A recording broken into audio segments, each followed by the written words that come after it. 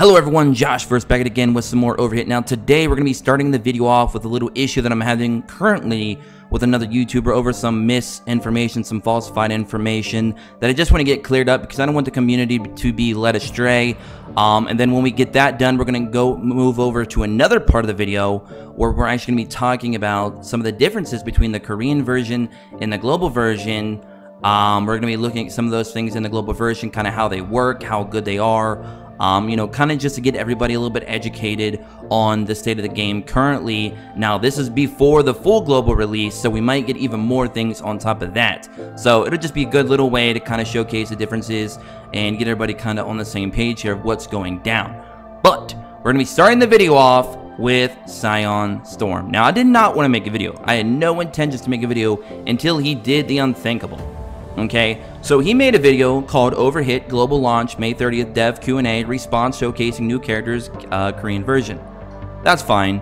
So he was going over the new dev notes, which I've already covered here on the video, or sorry, on the channel, um, in a uh, prior video to this, and he was kind of skimming through it, reading over everything. He kind of gave a lot of you know misinformation. He didn't really seem like he understood the full source material um, which is fine. You know, being wrong does does not make you a criminal, doesn't make you a bad guy. Everybody can be wrong. You know, we're all human, right? That's not the issue.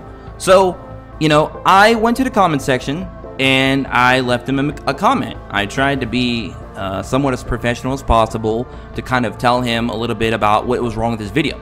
You know, freedom of speech comment section. I was trying to give him, you know, some information um, because somebody showed me this video and they told me that he was saying things that didn't add up. So I wanted to clarify because he has, you know, a big audience. He's got 30 some thousand subscribers, whatever. Who knows how many people is following him on the overhit side. But I didn't want him to misinform a community and give them a bad impression of the game when there was no reason for it. So I tried to clarify some of those things, and with my comment, I said the Korean version took a massive hit lately in sales and player base numbers due to many issues with the game. Thus, they changed it and fixed it up. Uh, many of the mistakes for global, which is what they did. They've shown that already. That um, you know, I've heard other YouTubers that played the game, you know, religiously in the Korean version, talking about all the problems with power creeping and some of the other issues that they had. How you know, building up character development was pretty long, you know, etc., etc. So when they released the actual soft launch, I noticed a lot of those things were different or changed, and in some cases for the better. But we're to talk about that in the second part of the video. But anyway, so I tried to bring that up. I said such changes were the inclusion of the Trek missions in the pity system for SSR with Legendary Gacha, which we will be talking about that quite a bit in today's video. And I do apologize, today's video may be a little bit long. Bear with me, okay? So, then we have the, son, the soft launch already got four amazing events, which it did. The four events that we've had currently on the soft launch have been phenomenal. I mean, I cannot complain about those at all. And you guys know I'm one to complain. If there's an issue, I'll tell you guys about it. You guys know that. If you actually play the soft launch, you know that these things and understand why they are better. Hell, only needing three gears um, pieces instead of six is getting high praises from the player base. So a lot of the player base that play on the Korean side that I've talked to within the actual Overhit Global Discord, not my own Discord, but the actual Overhit Global one, were pretty excited and happy and thrilled a little bit about the the deduction, the reduction rather, in the time investment that you need for gear. Um, getting three gear is hard enough. Getting six is abysmal. You guys know that, you know, from you guys playing Epic 7 here on the channel. Uh, from Epic 7 players, you guys know all about the hellish grind it is for six pieces of gear. Okay. Then he said, bruh, shut it. You realize I actually work with Nexon, right? You know, he's playing that brute mentality. I'm bigger than you. I'm better than you type of, you know, whatever. I don't really care. You know, Sion, that shit doesn't work on me.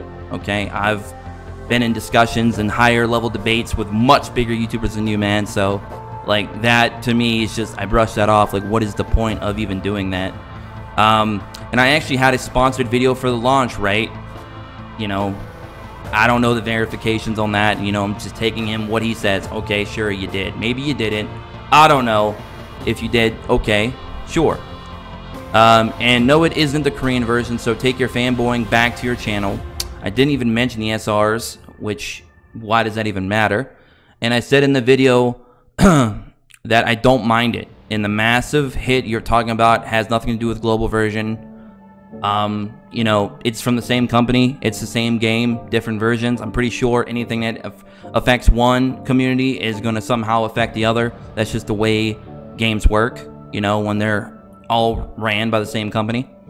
And this hit happened four months ago, not recently. You being a Trump clone, I don't know what why he brought politics into it. Never bring politics, religion, or race into any chat guys on the internet. That's always just, you know, immature. Never do it. I'm immature. I know I am. Um, I complain a lot, rant and stuff like that. That's just what I do.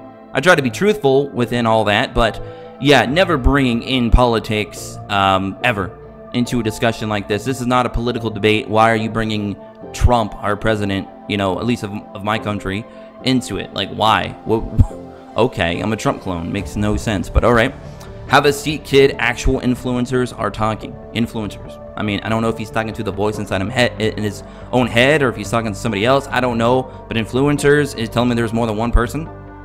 But I mean, if he's just directing himself in his God essence as well, you know, whatever. I have no idea. But um, yes, I have children, so I'm not a kid. I'm actually much older. I'm probably much older than you, Sion, but that's fine. Um, so we're gonna skip. We're not gonna talk about his, you know, his his sheep that are hating on me or whatever. That's fine. It's his subscribers. They're gonna go and defend their their YouTuber. You know that happens. Um, and I said, okay, how about you learn to make a video that's informative?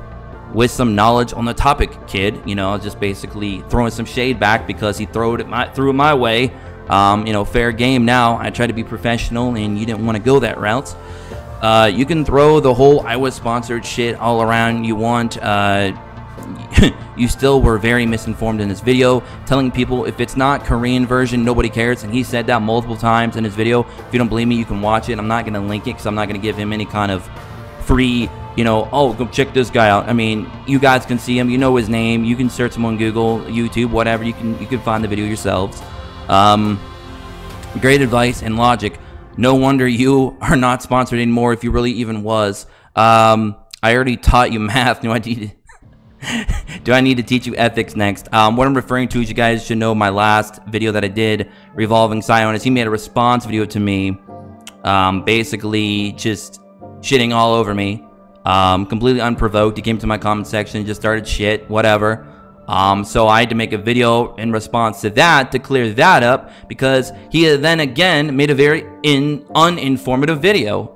So I had to clear that up and like I don't know why he continues to do that. Uh, he seems to have a lot of drama with YouTubers within his own communities that he does settle on he plays a lot of games. But I don't know, he just seems to be like that, whatever. Um, so you're probably wondering, okay, so what is the issue? You know, social media beef here, uh, internet beef, YouTuber beef, whatever. Okay, well, the problem we'll get into in about two minutes. Let me go to the next one. This is the other area. This is the other comment that I posted on. Um, some YouTuber, Nation, uh, Nation of Gamma Nation, um, I don't, he, I'm assuming he's probably a subscriber or maybe he's just a viewer. He says, people are calling BS on the legendary summons. It supposedly doesn't even work like that, more like a mileage system. Now we're going to talk about what that actually, that gacha system actually does later in the video. And Sion replies, all it is is basically is the same thing that exists are in a Korean version. Now I've played a Korean version and that does not exist. It is not there.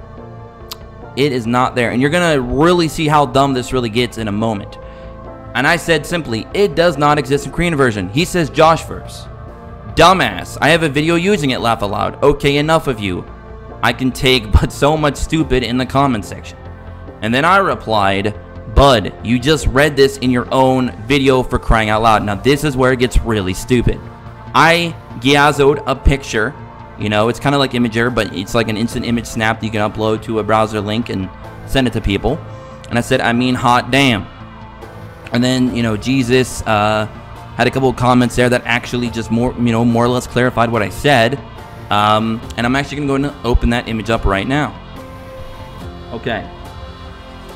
So, this was actually uh, screenshotted from the actual dev notes that we got earlier today, which I already made a video about that on my in my, my you know my prior video to this one for overhit. Um, and it says clearly, clear as day. And and remember this, guys. Sion read this very same thing in this video. Okay, and remember the comment that he left. Okay, remember this comment. He says, dumbass, I have a video using it. The problem is, guys, it doesn't exist in the Korean version. And right here's some more clarification. This is due to the different service philosophies as described above, and players should note that we've included other features to compensate for this difference.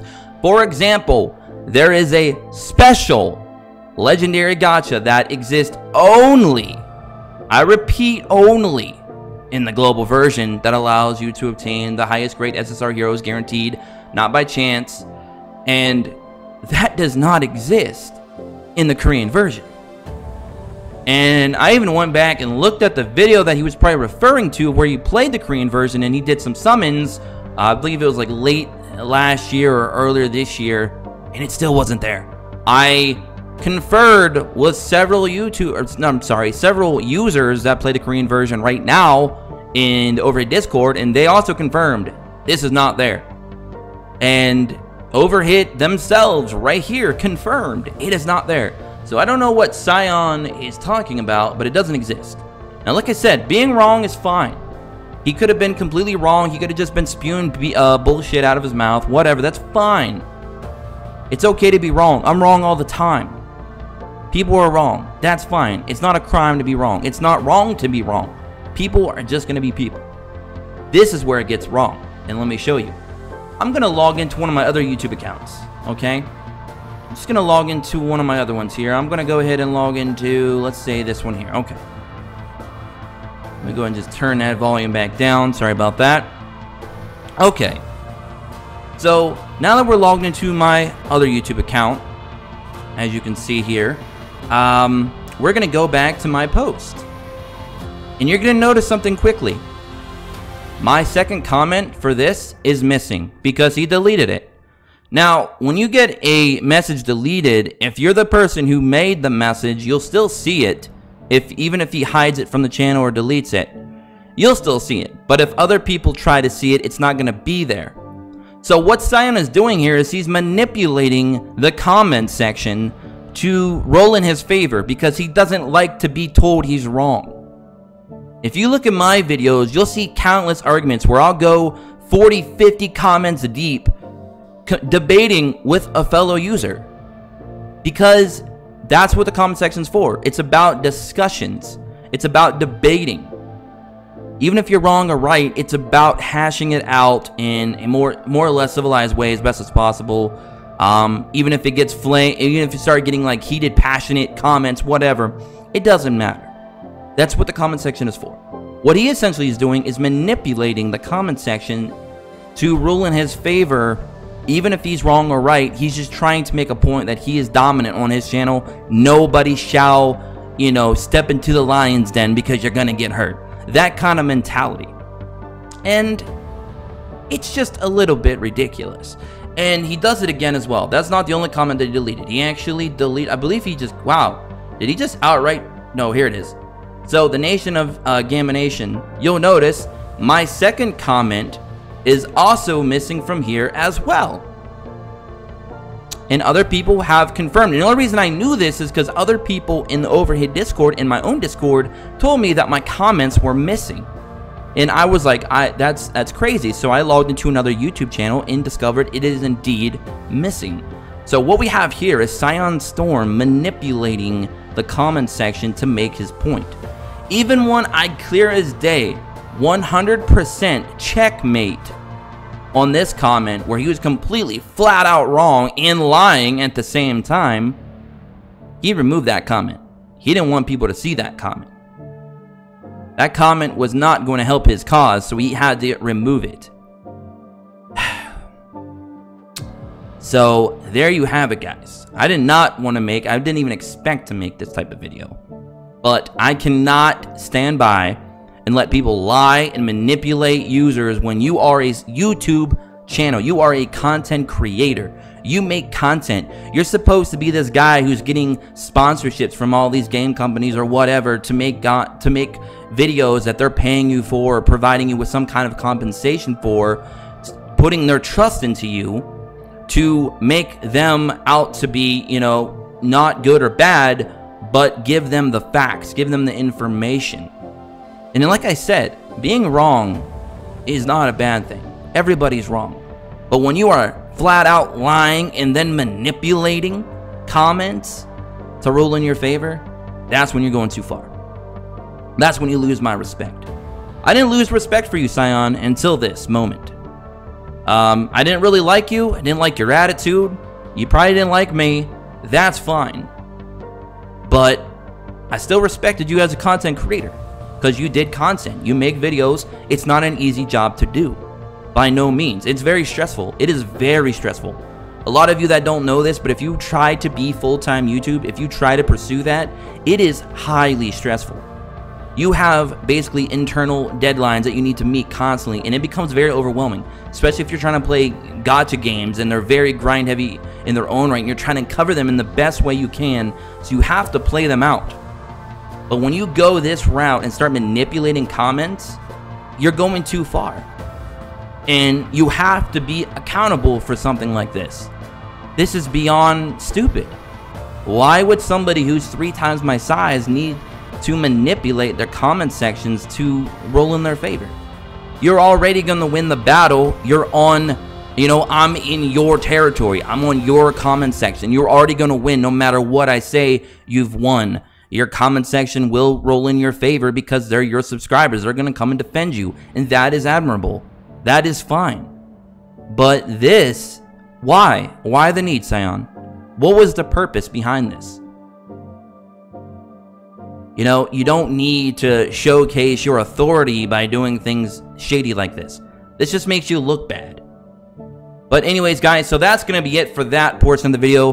Stay tuned for the next part where I'm actually going to be talking about the differences between global and the Korean version. So hope you guys do enjoy that. Sorry again, this video is quite long. But anyways, I'll catch you guys on the next one. Um, you know, like I said, if you want to stay around for part two, go ahead. Um, otherwise, you can tap out now. Um, drop a like if you did. Comment below what you guys think.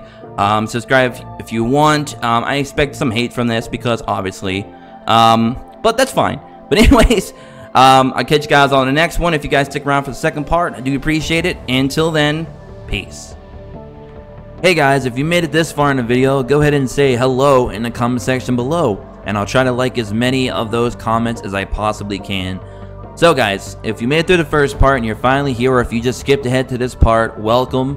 Hope you guys are enjoying so far. So, we're going to be discussing some of the good things that came from the changes in Global compared to the Korean version. Now, in this version, one of the things that we have are a double pity system. So if we actually go to the banner down here at Gacha, you'll notice that we have a uh, summon, you know, a guaranteed SR per multi-summon you do. Now that also counts with your summon tickets. We've been given a lot of free tickets through the soft launch so far in the first month of the of the release of the soft launch. We've gotten several tickets. We've gotten several multis and stuff like that as well. So a lot of players by now, after the first month, have a lot of SRs. A lot of them are dupes as well, probably. There's quite a few players that probably have, you know, two or three maxed out SRs, maybe even more. Um, you know, lots of opportunities for SRs, etc. So what's really good is the pity system, of course, is going to give you a guaranteed SR. I believe they have that as well in the Korean version. But what they don't have is the legendary gacha. The legendary gacha gives you UR shards, I believe, every what was it? Every two or three. Let me double check. Okay, two, four, six, eight, and ten. So, basically, every hundred summons, you're going to be able to go into the Legendary Gacha, and every 200 summons, basically 20 multis, you're going to be able to grab these UR shards. Now, these UR shards are very, very important, and we're going to talk about what those do in the game as well. Um, so stick with me again. I do apologize. This is a very long video but I've tried to keep it as informative as possible. So, what is a legendary gacha and why is it good? So, if you go back to the regular banner, you'll notice up here at the top, you get these SSR Soul Stones, which are also very, very nice. And again, you get these every, I believe, 20 mul, or I'm sorry, every two multis. Every two multis, you get additional uh, Soul Stones, and these go all the way up to a World Shard times 30. Once you've done 10 multi-summons in this banner, you'll get 30 world shards. When you get 30 world shards, you can do one summon in the legendary gacha. So basically, it's a 100 summon pity system. Or 10 multis, rather. Um, And if you play this game daily and do your dailies and do some a little bit of grinding here and there, you're going to be able to do, I would safely say, at least a few multis per month easily. And this is before any events or anything else is added. This is just purely from the daily stuff that they give you from doing your dailies and, you know, your day-to-day -day stuff that you normally grind out. So you're going to be able to do at least several, you should be able to do at least a few multis per month. Okay, per month. Um, freely, fully free to play. Now this is before if you want to whale out or whatever, that's fine too. But basically, you get these SSR Soul Stones. Soul Stones give you basically shards for various SSR heroes. If you get 50 of a character's shards, you can then pull for that character guaranteed.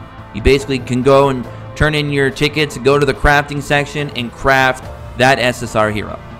So, again, more layers basically of pity systems. If you really want to break it down, there's a lot of pity in this game. a lot of pity, which is good, which is a great thing.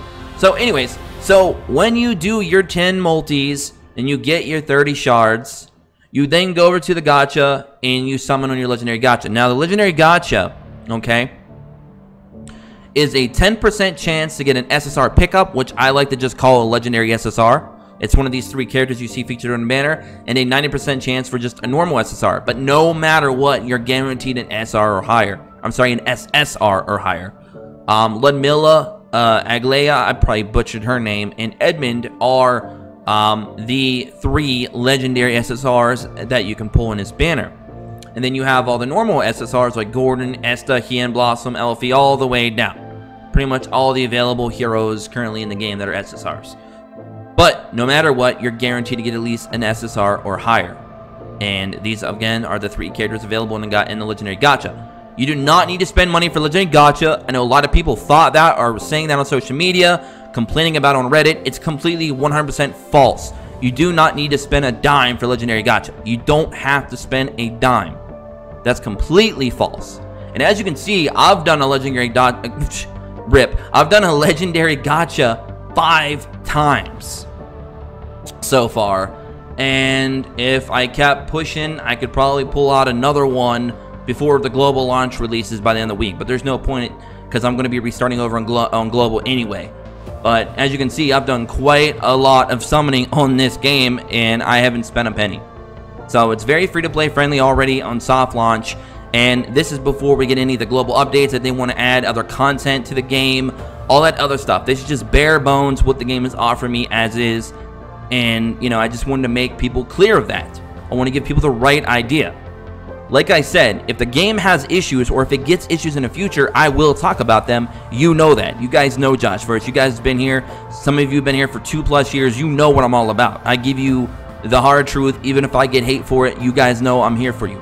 100%. But, like I was talking about earlier, you also get these UR shards. Now, these UR shards, um, I'm not sure if these are in Japan. I'm pretty damn sure they're not. I don't believe they're in Korea, though, because I don't believe Korea has URs. I think that's a global only thing. It might be in Japan as well because I haven't really looked into Japan, uh, the Japan version, but I, I'm pretty damn sure they're not a Korea version. But those heroes are very powerful. We're going to show you a little bit about those real quick. We're going to go to crafting. And we're going to go to ugh, synthesized soul stone. And this is what I'm talking about with all the shards. So you'll notice if I like click a character, you'll look down here, you'll see I got 22 out of 50 of these shards.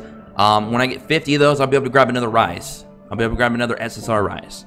Um, but here are the URs. Now, these URs are not easy to get. These are end-game level characters. If you guys are watching this and you're coming from Epic 7, consider these Moonlight 5 stars. Hands down, the best way I can compare them for you. These are Moonlight 5 stars. These are not supposed to be easy to get. And they're very, very, extremely powerful. They have amazing leader abilities. They have amazing base stats. They have very good skills. Both of these here. We got Ria, and then we got uh, Anemone, uh, Anemone, however you want to say her name. And these you can get as well, 100% free to play. And doing the legendary gacha as much as you possibly can as well throughout your gaming experience is going to give you more of those shards. Now, there's other ways to get these shards as well, um, you know, through RNG, and they may add some events and stuff like that in the future to get them too. Um, there's people on social media like, oh my god, you need like 50 grand to get uh, the UR characters that you need up where you need them up to. No, you don't. Maybe if you want to get a maxed out UR character like today, but why would that's insanity? If someone's willing to spend that kind of money, more power to them. But you don't have to spend a dime to get your URs. And to be honest, as good as the URs are, getting just one copy and or maybe even one copy with a dupe is going to be very, very strong. And we're talking, these are late, late game characters, guys. These aren't something that you should be aiming for on day one. Okay? These are very end game characters. And by the way, again, they're free to get. If you have patience, they're free to get. All the SSRs currently in the game, if you have the patience, are free to get. I repeat, free. Free. Okay? So these are some of the things that the global version is offering right now that is extremely helpful. Another thing that is global exclusive um, to the Japanese version, I'm sorry, to the Korean version rather, is Trek missions. Trek missions are probably the best free-to-play feature I have seen in a long time in a gacha. Basically, it is your nest egg. It is where you're going to go to collect a majority of your resources. We have um, fairy summon tickets. Fairies are, they give you a certain element and then that boosts um, your character's EXP of the same element even further. You could use it on any element you want, but they get an additional stat boost, I'm sorry, EXP boost if you use the same element of a character. Kind of like if you get a fire fairy, you want to feed into a fire hero. Simple enough, right? You also can um, get your elixirs, all different elements of your elixirs to use to, you know, invest in the grades um, for your characters to get them up, you know, from D, C, B to A to S or whatever. Same thing goes for the rainbow elixirs. Rainbow elixirs are a very high commodity. You definitely want to grab them as much as you can because you want to use them to S grade your characters as much as possible because that's literally going to be maxing their grade out, giving them major stat boost. You also get skill runes. You get the low grade skill runes and you even get bonus high grade skill runes. These are going to be used to skill up your characters. Basically, consider these Molagoras. But guess what? You get these Molagoras all day, every day through the Trek missions for free. You don't have to buy a Molagora pack. um, we also get Dimension Gems. These are the actual premium currency in the game to buy things, including summons. You get these for free as well. And if you farm enough of your Trek missions during the day, if you like are a hardcore player, you're playing like several hours, like maybe five, six hours, you're gonna be able to do quite a few Trek missions. Um, you're gonna be able to like do some of the bigger ones that you're gonna wait till the next day to collect, and then you're gonna do a lot of your little ones that you can collect every couple hours and do that periodically throughout the day, gaining a lot of your resources. This is gonna be again your nest egg. This is how you build up your resources. This is not in the Korean version. This is beautiful. This is absolutely beautiful. Uh, the Trek missions are heaven sent, in my opinion, for a free-to-play player. Um, so you have some of those things to consider, a little bit different from the Korean version. Now, things to note, the Korean version obviously has more modes and more characters available because it's been out for nearly two years.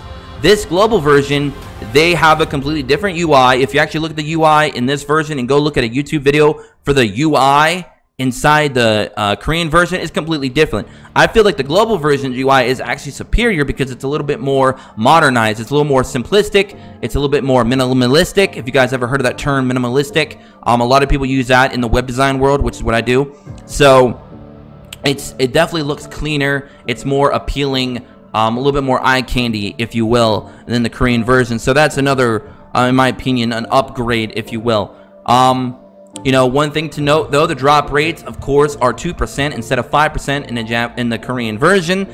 So you guys can look at that however you want. But then again, keep in mind, they do not have the legendary gacha that we have here. Plus, they did some other changes to the characters in this game that they did not do in the Korean version, such as Sophia, one of the stronger characters that you get from the beginning of the game. Very, very good healer with a revive. She is an SR in the Korean version, but she's an SSR in this version. Um, I believe Ash is an SR over there as well. I could be wrong on that one. I'm sure somebody will correct me if I am in a comment section below. But Ash is also an SSR in this version as well. And guess what, guys? This is where it gets even better. How do you make some of those beginner SSRs maxed out for free, you say? Well, I'm glad you asked because I'm about to show you. So, if we go to the actual, I'm losing my mind right now, guys. Rip. if you go to special and you go to dimension gate, you'll notice, now you're not going to have all these unlocked because some of these like Ren, uh, Area, and Malpian, you won't unlock until you beat their stages in the actual story. So when you first start, you're probably only going to see Ash and, and Sophia. But what's really cool is, remember with those shards that we talked about earlier in the video? And how you can use them to build up to get your SSRs that you want for free through farming? Well, right here, you can do up to three um, of your dimensions per day. Dimension um, on each of these. Um, I'm sorry. Ugh, I can't talk today, guys. Wow, this is a long video. So basically, if I clicked uh, Ren, I can go into normal mode, elite, expert, and master. Now, of course, you have to beat the mode before to unlock the, the higher difficulty. So if you want to unlock elite, you got to beat normal. If you want to unlock expert, you got to be elite. If you want to unlock master, you got to beat expert. And of course, they give you more and more rewards. You will get one guaranteed shard per run of that character that you chose to go into. So if I do my three runs, you know what? We're just going to do a quick... Um, just for the sake of today's video, I don't want it to be too long. I'm going to do a quick normal run. I don't want it to be, I don't want to do master because it could take a few minutes.